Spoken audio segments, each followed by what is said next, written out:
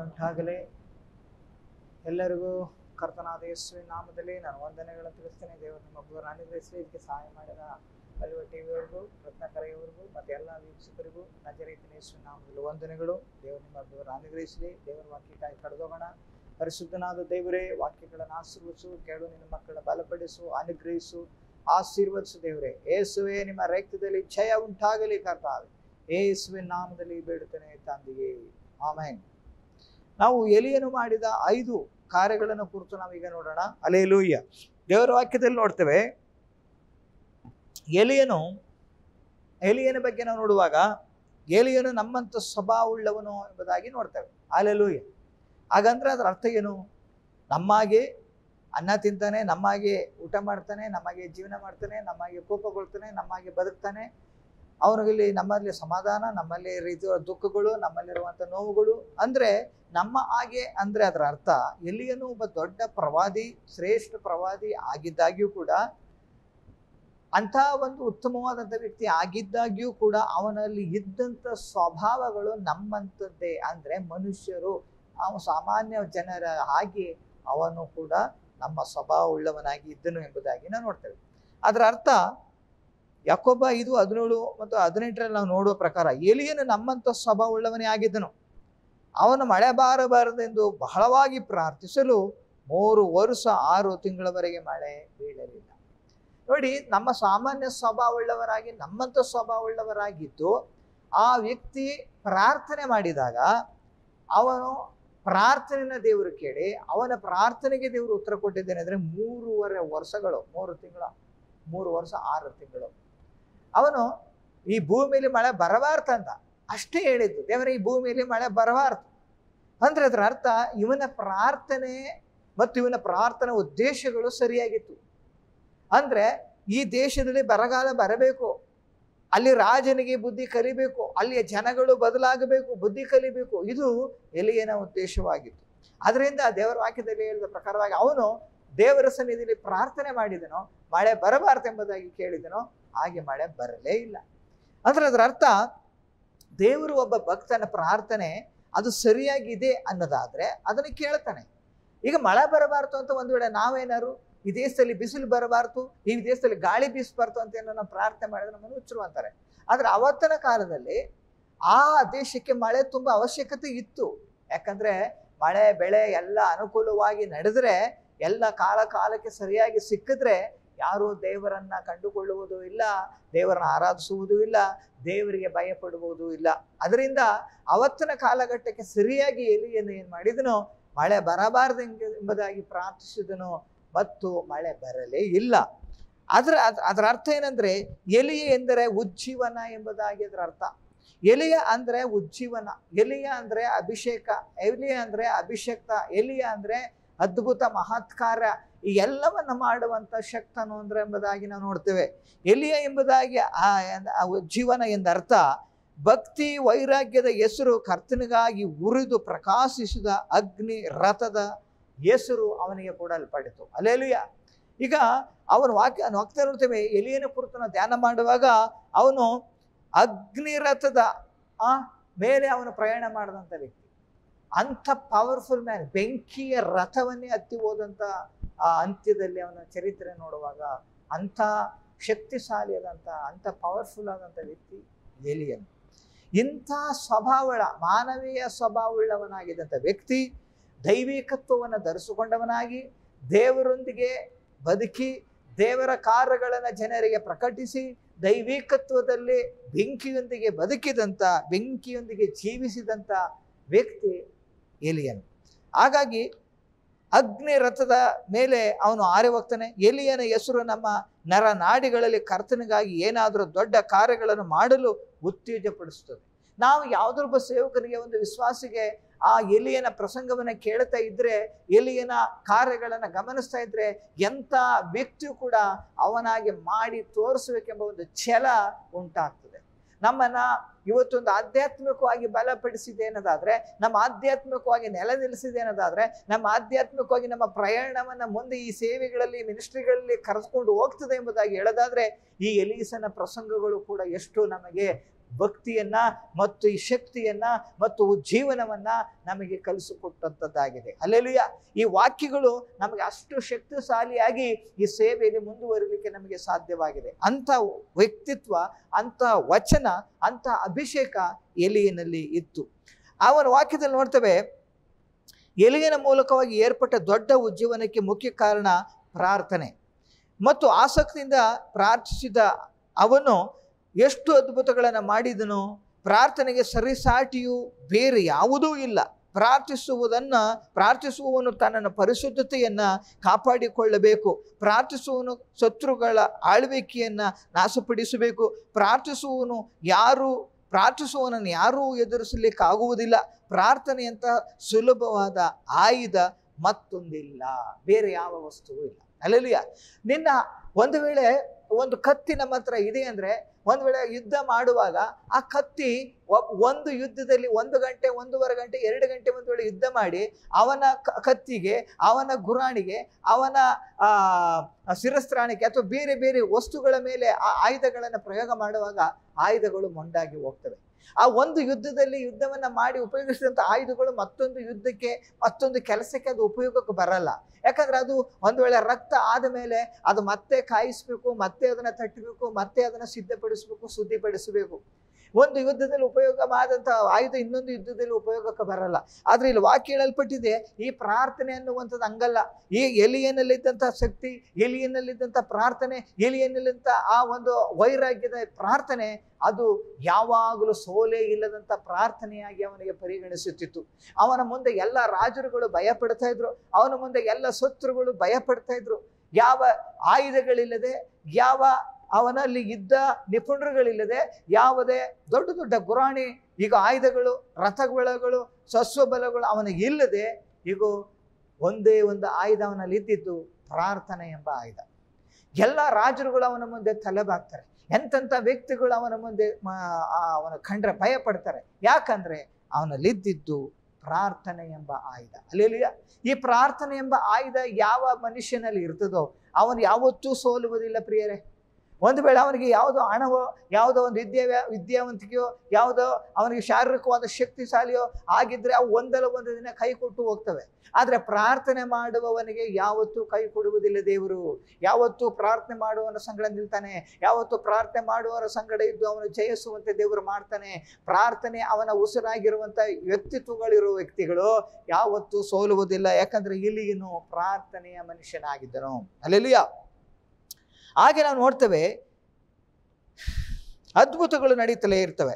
ಸಹೋದರ D G S Dinakar ಅವ್ರನ್ನ ನಾವು ನಾವು ಒಂದು ಉದಾಹರಣೆಗೆ ತೆಗೆದುಕೊಳ್ಳೋದಾದರೆ, ಮನ ಮರುಗುವಿಕೆಯಿಂದ ಪ್ರಾರ್ಥಿಸುತ್ತಿದ್ದರು.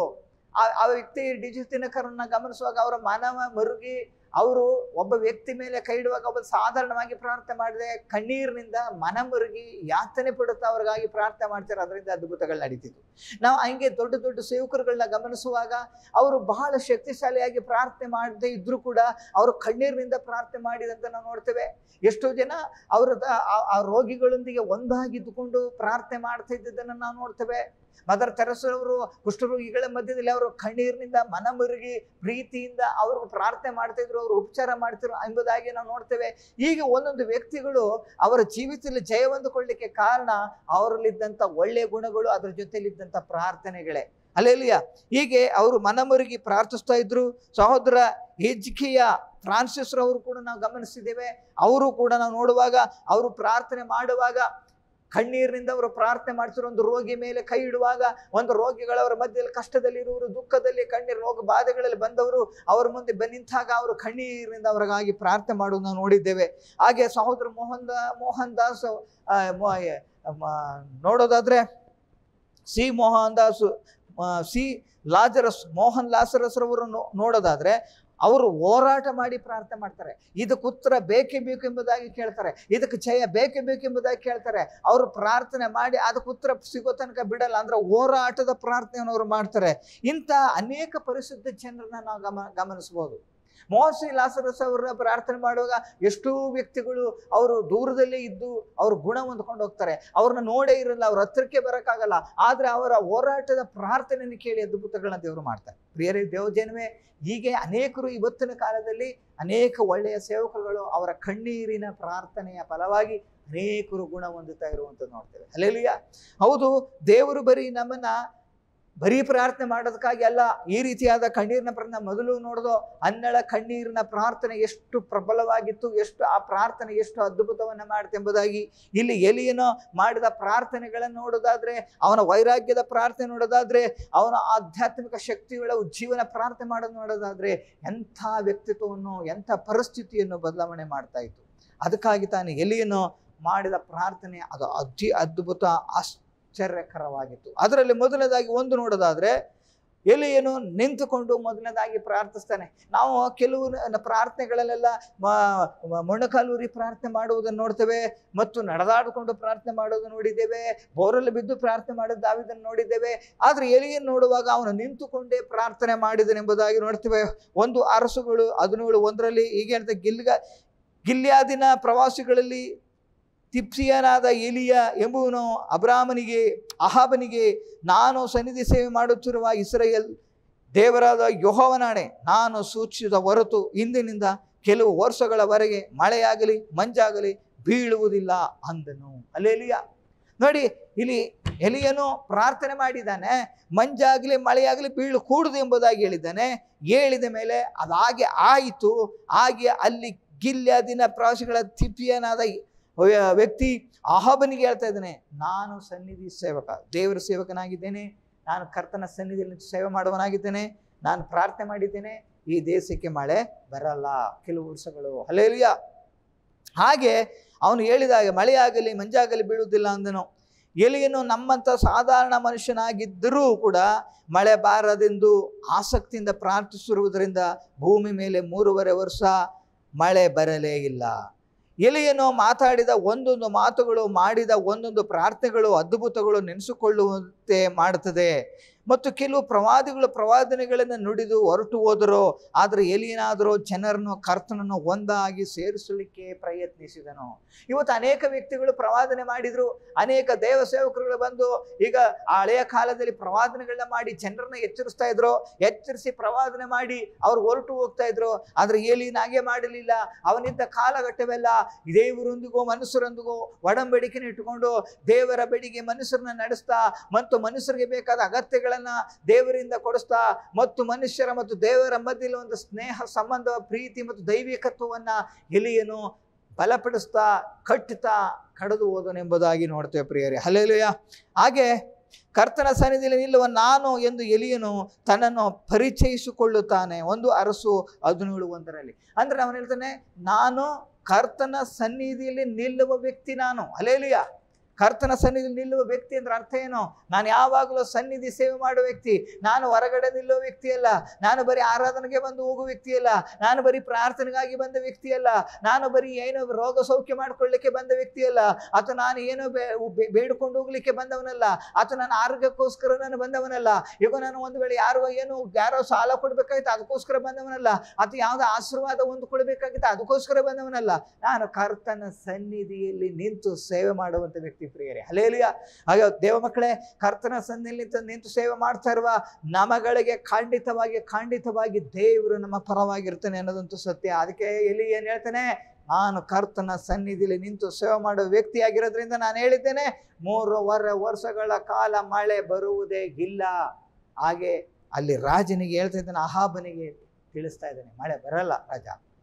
ಅದರ ಅರ್ಥ ಒಂದು ವರ್ಷ ಆರು ತಿಂಗಳು ಒಂದು ವೇಳೆ ನಮ್ಮ ದೇಶದಲ್ಲಿ ಮಳೆ ಪ್ರವಾಹವಾದರೂ ಕೂಡ ಎಷ್ಟೆಲ್ಲ ದಶ ಸಾವಿರ ಸಾವಿರ ಕೋಟಿ ನಷ್ಟವಾಗ್ತದೆ. ಮನೆಗಳು ಬಿದ್ದು ಹೋಗ್ತದೆ. ಏನೆಲ್ಲ ಅನಾಹುತಗಳಾಗ್ತದೆ ಒಂದು ವೇಳೆ ಆರು, ಒಂದು ವರ್ಷಗಳ ಕಾಲ ದೇಶಕ್ಕೆ ಬರಗಾಲ ಬರೋದಾದರೆ, ದೇಶಕ್ಕೆ ಬರಗಾಲ ಬರೋದಾದರೆ, ಒಂದು ವೇಳೆ ದೇಶದಲ್ಲಿ ಅನ್ನದ ಪರಿಸ್ಥಿತಿ ಏನಾಗ್ತದೆ? ಅನ್ನ ಇಲ್ಲ ಅಂದ್ರೆ ಜನಗಳ ಪರಿಸ್ಥಿತಿ ಏನಾಗ್ತದೆ? ಜನಗಳು ಒಂದು ವೇಳೆ ಹಸುವಿನಿಂದ ಸಾಯೋದಾದರೆ ಪರಿಸ್ಥಿತಿ ದೇಶದ ಆಡಳಿತ ಏನಾಗ್ತದೆ? ದೇಶದ ಆಡಳಿತ ಹಾಳಾಗಿ ಹೋಗೋದಾದರೆ ಜನ ಹೇಗಿದ್ ಬದುಕ್ತಾರೆ ಪ್ರಿಯದೇವ ಮಕ್ಕಳೇ? ಒಂದು ಯೋಚನೆ ಮಾಡಿ ನೋಡ್ರಿ. ಅನ್ನೀಗ ಬರೀ ಮನುಷ್ಯನಿಗೆ ಆಹಾರ ಇಲ್ಲ ಅನ್ನೋದು ಒಂದು ಮಾತ್ರ ಅಲ್ಲ, ಮೂರುವರೆ ವರ್ಷ ಒಂದು ವೇಳೆ ಮಳೆ ಉಯ್ದೇ ಇದ್ರೆ, ದನಗಳ, ಕರುಗಳು, ಪ್ರಾಣಿ, ಪಕ್ಷಿಗಳು ಪ್ರತಿಯೊಂದು ಅನ್ನ ಆಹಾರ ಇಲ್ಲದಂತೆ ಹೋಗ್ತದೆ. ಕುಡಿಲಿಕ್ಕೆ ನೀರಿಲ್ಲ, ಜನಗಳಿಗೆ ಆಹಾರ ಇರುವುದಿಲ್ಲ. ದೇಶದಲ್ಲಿ ಭಯಂಕರವಾದ ವಿರುದ್ಧಗಳು, ಯುದ್ಧಗಳು, ಕಾದಾಟಗಳು, ಗೋಳಾಟಗಳು, ಕಣ್ಣೀರುಗಳು ಉಂಟಾಗ್ತದೆ. ಇಂಥ ಪರಿಸ್ಥಿತಿಯನ್ನ ಈಗ ಎಲಿಯನು ಪ್ರವಾದನೆ ಮಾಡಿದ್ದಾನೆ. ಅಲ್ಲೆಲಿಯ! ಆಗ ರಾಜ, ಎಂಥ ರಾಜನು ಕೂಡ ಭಯಪಟ್ಟು ಹೋಗ್ತಾನೆ. ಇಂಥ ಪರಿಸ್ಥಿತಿ, ಈಗ ದೇಶದ ಮೇಲೆ ಬರೀ ಆರು ತಿಂಗಳು ಯುದ್ಧ ನಡೆಯೋದಾದರೆ, ಬರೀ ಒಂದು ತಿಂಗಳು ಯುದ್ಧ ನಡೆದಾದ್ರೆ ಕೋಟಿ ಕೋಟಿ ಕೋಟಿ ನಷ್ಟವಾಗ್ತದೆ. ಜ, ಬೆಲೆಗಳ ಏರಿಕೆ ಉಂಟಾಗ್ತದೆ. ದೇಶದಲ್ಲಿ ಆಹಾರ ಪದಾರ್ಥಗಳು ವಸ್ತು ಪ್ರದ ನಮಗೆ ಅಗತ್ಯ ವಸ್ತುಗಳು ಸಿಗದಂತೆ ಹೋಗ್ತದೆ. ಬರಗಾಲ ಅಂದ್ರೆ ಅದು ಸುಮ್ಮನೆ ಅಲ್ಲ, ಇಡೀ ದೇಶವೇ ನಡಿಗೆ ಹೋಗ್ತದೆ. ಅಂಥ ಪರಿಸ್ಥಿತಿ ಆಹಾಬನ ರಾಜನಿಗೆ ಉಂಟಾಗಿದೆ ಈಗ. ಆಗ ಇಲ್ಲಿ ದೇವರ ವಾಕ್ಯ ಹೀಗೆ ಹೇಳ್ತದೆ ಹೌದು, ದೇ ಅನೇಕ ಸಲ ದೇವ ಸೇವಕರುಗಳು ಅಪಸುರ ಕೃತ್ಯದಲ್ಲಿ ಆರು ಹತ್ತದಲ್ಲೂ ಕೂಡ ದೇವರ ವಾಕ್ಯ ಹೀಗೆ ಹೇಳ್ತದೆ ಈಗ ಮೋಸೆ ಮುಂದೆ ನಿಲ್ಲಲು ಆಗಲಿಲ್ಲ ಬಾಬಿಲೋನಲ್ಲಿ ದಾನಿಯಲನು ಕರ್ತನ ಮುಂದೆ ನಿಂತುಕೊಂಡಿದ್ದರಿಂದ ಅಲ್ಲಿದ್ದ ಯಾವ ಜ್ಞಾನಿಗಳಿಗೂ ದಾನಿಯೇಲನ ಜ್ಞಾನದ ಮುಂದೆ ನಿಲ್ಲಲು ಆಗಲಿಲ್ಲ. ಸ್ಟೇಫನನ್ನು ಮಾತಾಡಿದ ಜ್ಞಾನವನ್ನು ಆತ್ಮನನ್ನು ಎದುರಿಸಲು, ಯಾರಿಂದಲೂ ಎದುರಿಸಿ ನಿಲ್ಲಲು ಆಗದೆ ಹೋಯಿತು. ಈಗ ಸ್ಟೇಫನನ ವಾಕ್ಯ ವಾಕ್ಯ ಸ್ಟೇಫನನು ಕೂಡ ಅಲ್ಲಿ ಮಾತನಾಡುವಾಗ ಅವರ ವಿರೋಧಿಗಳು ಅವನ ಮುಂದೆ ನಿಲ್ಲಲಿಕ್ಕೆ ಆಗಲಿಲ್ಲ ಎಂಬುದಾಗಿ ನೋಡ್ತದೆ. ದಾನಿಯಲನ ಮುಂದೆ ಅವರ ವಿರೋಧಿಗಳು ನಿಲ್ಲಲಿಕ್ಕೆ ಆಗಲಿಲ್ಲ ಎಂಬುದಾಗಿ ನೋಡ್ತೇವೆ. ರಾಜರುಗಳ ಮುಂದೆ ಇವರೆಲ್ಲರೂ ನಿಂತು ಮಾತನಾಡಿದ ಮಹಾ ವ್ಯಕ್ತಿಗಳು, ದೊಡ್ಡ ದೊಡ್ಡವ್ರ ಮುಂದೆ ನಿಂತು ಮಾತಾಡಿದ ವ್ಯಕ್ತಿಗಳು. ಯಾಕಂದ್ರೆ ಇವರು ಅಂಥ ಪರ್ಫೆಕ್ಟ್ ಆಗಿ ದೇವರಲ್ಲಿ, ದೇವರ ಸನ್ನಿಧಿಯಲ್ಲಿ ನಿಂತು ಮಾತನಾಡುವ ಶಕ್ತಿ, ಬಲವನ್ನು ಹೊಂದಿಕೊಂಡಿದ್ದ ಮಹಾಸೂರರಾಗಿದ್ದಾರೆ. ಹಾಗಾಗಿ ಅವರ ಒಳ್ಳೆ ಜ್ಞಾನವಂತರಾಗಿದ್ರು ಒಳ್ಳೆ ಬುದ್ಧಿವಂತರಾಗಿರು ಒಳ್ಳೆ ಆತ್ಮೀಯರಾಗಿದ್ರು. ಬರೀ ಕೆಲವ್ರಿಗೆ ಜ್ಞಾನ ಇದ್ದರೆ ಆಧ್ಯಾತ್ಮಿಕತೆ ಇರಲ್ಲ.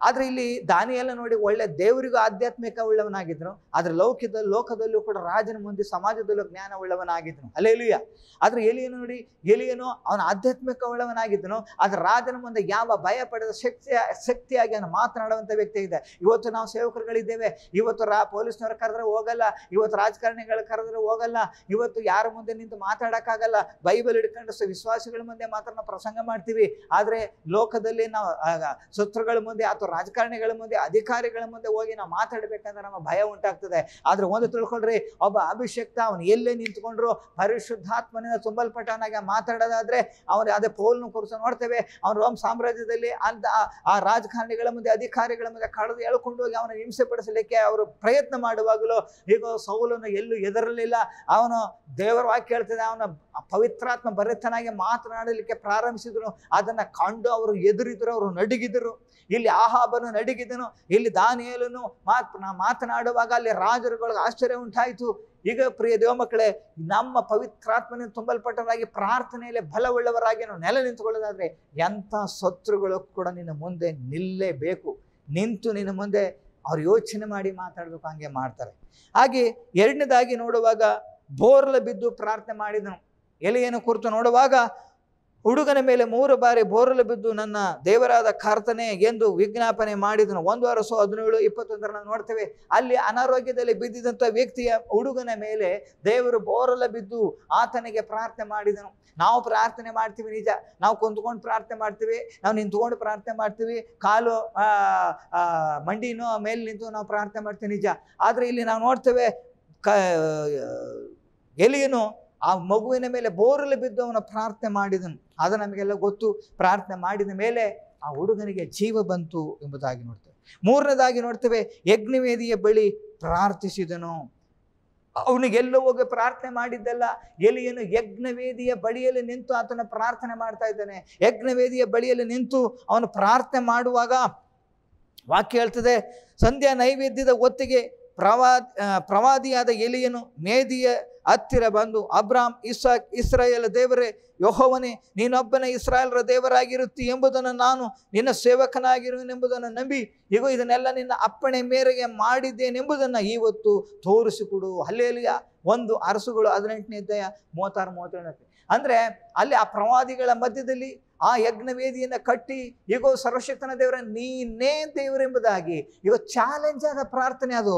ಅದಕ್ಕೆ ಅವನು ಹೇಳ್ತಾನೆ, ಯಜ್ಞವೇದಿ ಬಳಿ ಪ್ರಾರ್ಥನೆ ಮಾಡಿದ ಮೇಲೆ ಅವನು ಅಂಥ ಅದ್ಭುತವಾದಂಥ ಆದ ಪ್ರಾರ್ಥನೆ ಅವನು ಮಾಡಿ ದೇವರಲ್ಲಿ ಅವನ ಜೀವನ ಅಂತಾನೆ ಅಲ್ಲೆಲ್ಲಿಯ ಇದು ಒಂದು ಚ ಅಂದರೆ ಮಾಡಲೇಬೇಕು, ನನಗೆ ಗೊತ್ತು ಇವತ್ತು ಇದೆ ನಡೀತದಂತ ನಾಲ್ಕನೇದಾಗಿ ನೋಡ್ತೇವೆ, ಮೊಣಕಾಲೂರಿ ಅವನು ತಲೆಯನ್ನು ಆ ಮಂಡಿಯಲ್ಲಿಟ್ಟು ನೆಲದ ಮೇಲೆ ಅಡ್ಡ ಬಿದ್ದು ಅವನು ಪ್ರಾರ್ಥನೆ ಮಾಡಿದನು. ಅಲೆಲುಯ್ಯ ಇದು ನಾಲ್ಕನೇ ಪ್ರಾರ್ಥನೆ. ಒಂದು ಅರಸು ಹದಿನೆಂಟನೇ ನಲವತ್ತೆರಡನೇ ವಾಕ್ಯದಲ್ಲಿ ಹೇಳ್ತದೆ, ಆಹಾಬನು ಅನ್ನಪಾನಗಳನ್ನು ತೆಗೆದುಕೊಳ್ಳಲು ಹೋದಾಗ ಇಲಿಯನು ಕರ್ಮೇಲಿನ ತುದಿಗೆ ಹೋಗಿ ಅಲ್ಲಿ ನೆಲದ ಮೇಲೆ ಬಿದ್ದುಕೊಂಡು ಮೊಣಕಾಲೂರಿ ತಲೆಯನ್ನಿಟ್ಟು ಪ್ರಾರ್ಥಿಸಿದನು. ಅಲ್ಲೆಲ್ಲುಯ್ಯ ಈ ಈ ರೀತಿಯಾಗಿ ನಾವು ದೇವರೇ, ಯಾವ ಸಂದರ್ಭಕ್ಕೆ, ಎಲ್ಲಿ, ಹೇಗೆ ಮೊಣಕಾಲು ಉರ್ಬೇಕಾ, ತಲೆ ತಲೆಯನ್ನಿಟ್ಟು ಪ್ರಾರ್ಥನೆ ಮಾಡಬೇಕಾ, ಬೋರಲ್ಲಿ ಬಿದ್ದು ಪ್ರಾರ್ಥನೆ ಮಾಡಬೇಕಾ, ಎಲ್ಲಿ ನಿಂತುಕೊಂಡು ಪ್ರಾರ್ಥನೆ ಮಾಡಬೇಕು ಅನ್ನೋದನ್ನು ಎಲಿಯನ್ನು ನೋಡಿ ಕಲಿಬೇಕು. ಎಲಿನು ಒಂದೇ ಒಂದು ವಿಧವಾದ ಪ್ರಾರ್ಥನೆ ಮಾಡಲಿಲ್ಲ. ಎಲ್ಲಿ ನಿಂತು ಪ್ರಾರ್ಥನೆ ಮಾಡಬೇಕಲ್ಲ ನಿಂತು ಪ್ರಾರ್ಥನೆ ಮಾಡಿದನು, ಎಲ್ಲಿ ಮೊಣಕಾಲು ಉರ್ಬೇಕು, ಅಲ್ಲಿ ಮೊಣಕಾಲು ಉರಿ ಪ್ರಾರ್ಥನೆ ಮಾಡಿದ್ರೆ ಎಲ್ಲಿ ಬೋರಲ್ಲಿ ಬೀಳಬೇಕು, ಅಲ್ಲಿ ಬೋರಲ್ಲಿ ಬಿದ್ದು ಪ್ರಾರ್ಥನೆ ಮಾಡಿದನು, ಎಲ್ಲಿ ಕೈ ಎತ್ತಿ ಪ್ರಾರ್ಥನೆ ಮಾಡಬೇಕು, ಅಲ್ಲಿ ಕೈ ಎತ್ತಿ ಪ್ರಾರ್ಥನೆ ಮಾಡು.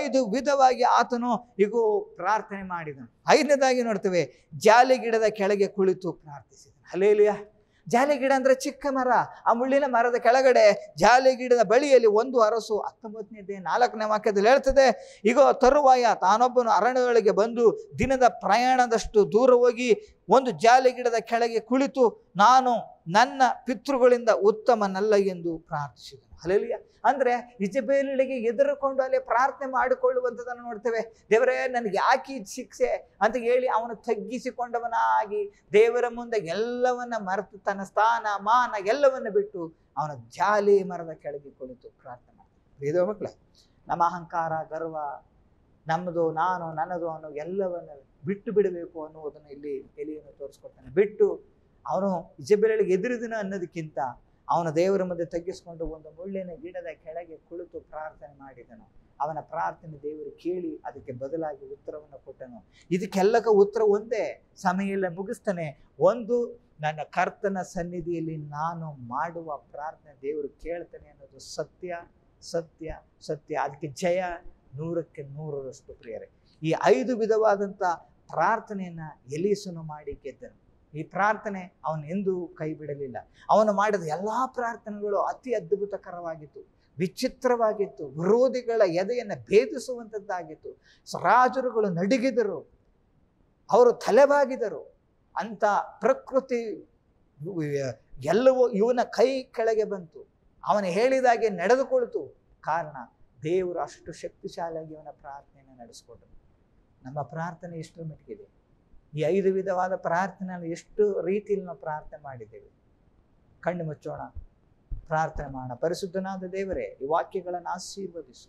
ನಿನ್ನ ಮಕ್ಕಳಿಗೆ ಆರೋಗ್ಯ, ಬಲ, ಆಯಸ್ಸು, ಆಶೀರ್ವಾದ. ಈ ಐದು ವಿಧವಾದ ಪ್ರಾರ್ಥನೆಯ ಬಲವನ್ನ ಎಲ್ಲಿ ಕುಂತು ಪ್ರಾರ್ಥನೆ ಮಾಡಬೇಕು, ಎಲ್ಲಿ ನಿಂತು ಪ್ರಾರ್ಥನೆ ಮಾಡಬೇಕು, ಎಲ್ಲಿ ಬೋರಲು ಬಿದ್ದು ಪ್ರಾರ್ಥನೆ ಮಾಡಬೇಕು, ಎಲ್ಲಿ ಕೈ ಎತ್ತಿ ಪ್ರಾರ್ಥನೆ ಮಾಡಬೇಕು, ಎಲ್ಲಿ ಮೊಣಕಾಲೂರಿ ಪ್ರಾರ್ಥನೆ ಮಾಡಬೇಕು. ಅನ್ನುವುದನ್ನು ದೇವರೇ, ದೇವ ಮಕ್ಕಳಿಗೆ ಸಭೆಗೆ ಕಲಿಸಿಕೊಡು ದೇವ. ನಿನ್ನ ಪ್ರಭಾವಕ್ಕಾಗಿ ಸ್ತೋತ್ರ. ಏಸುವಿನ ನಾಮದಲ್ಲಿ ತಂದೆ.